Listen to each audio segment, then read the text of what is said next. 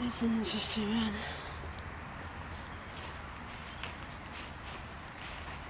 It's a pigeons. It's pigeons.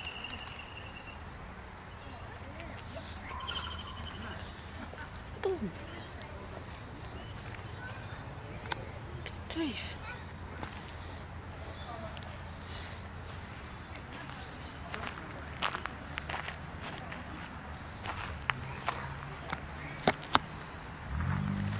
Alright, I'm gonna leave it there, I think. And um, yeah, we had a good day today. I'm happy. Catch you all later.